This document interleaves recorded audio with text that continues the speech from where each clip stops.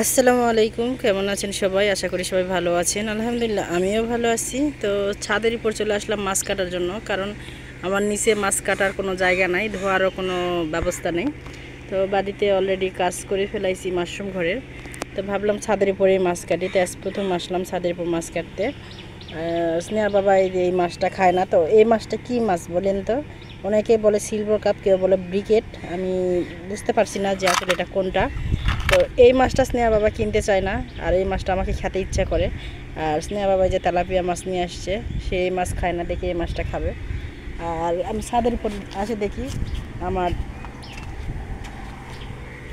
এই যে এই যে এই একটা ডাল ভেঙ্গে আছে। গতকাল একটু বাতাস হয়েছে ফুল আছে দেখেন গাছটাতে।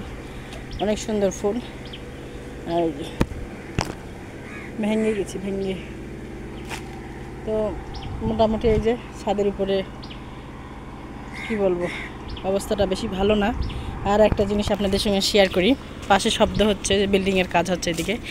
এই আতার গাছটাতে এই যে আতার গাছে ফুল আসছে, দেখছেন? সবাই একটু মাশাল্লাহ বলবেন।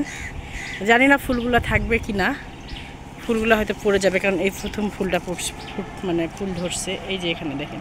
তো গত বছরই বেশি পরে একা একই গাছটা হয়েছে আর এই বছরই আতা গাছে ফুল আসছে। খুব একটা, কি বলব, আশ্চর্য হয়ে গেলাম যে যে আতা গাছে এত তাড়াতাড়ি ফুল আসে। মানে গত বছরই একা একই হয়েছে গাছটা, আমি লাগাইনি। এই যে মাসাল্লাহ অনেক ফুল আসছে।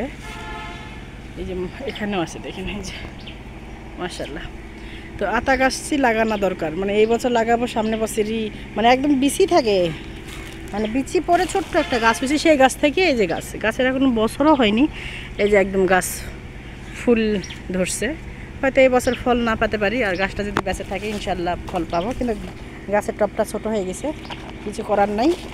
দেখি এখানেই করার চেষ্টা করব, রাখার চেষ্টা করব, আর তো অবশ্যই আমার ভিডিও পাশে থাকবেন, আর আমি কী করি সেটাকে আপনাদের সঙ্গে শেয়ার করব। আর একটা কথা শেয়ার করি এই যে আমার ড্রাগন ফলের যে গাছ গাছের ড্রাগন ধরছে, তো একটা ড্রাগন ধরলে আমার দুইটা মেয়ে কী করে খাবে? তো আলহামদুলিল্লাহ যে আরও একটা ধরছে এই যে। তো আমার দুই মেয়ে অনেক খুশি যে অবশেষে ওরা ড্রাগন খেতে পারবে। তো এখন মাছটা কাটবো, মাছটা রান্না করব, আর আপনাদের সঙ্গে শেয়ার করব কি কি শেয়ার করা যায়। তো অবশ্যই যারা যারা আমার ভিডিওটা এখনও ফলো করেনি অবশ্যই ফলো করবেন। যারা ইউটিউব চ্যানেলটা সাবস্ক্রাইব করেনি অবশ্যই সাবস্ক্রাইব করবেন। আর এই যে জুই ফুল, জুই এখানে আসার পর মানে জুই ফুল ফোটার তিন দিন পরে গন্ধ বাড়ায়। যখন জুই ফুল ফুটছে অনেকে বলে জুই ফুলের অনেক গন্ধ হ্যাঁ? কিন্তু এই কথাটা আমার বিশ্বাস হয়নি, কারণ জুই ফুল ফুটে, কোনো গন্ধ বাড়ায় না। তারপরে আমি ভাব, দেখলাম, জুই ফুল ফোটার তিন দিন পরে এত সুন্দর গন্ধ, যে কি বলব বলার মতন। আর এই যে দেখেন, এটা কি ফুলের গাছ বলবেন? অবশ্যই আপনারা কমেন্টস করে বলবেন যে এটা কি। তো আজকে ভিডিওটা এই পর্যন্তই। সবাই ভালো থাকবেন, সুস্থ থাকবেন। আমাদেরকে, আমাদের ভিডিওর পাশে থাকবেন। আল্লাহ হাফেজ।